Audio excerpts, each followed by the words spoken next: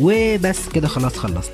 لو عجبكم الفيديو ده يا ريت بقى ما تنسوش like و share و subscribe للقناة واشوفكم في فيديو المرة الجاية. سلام.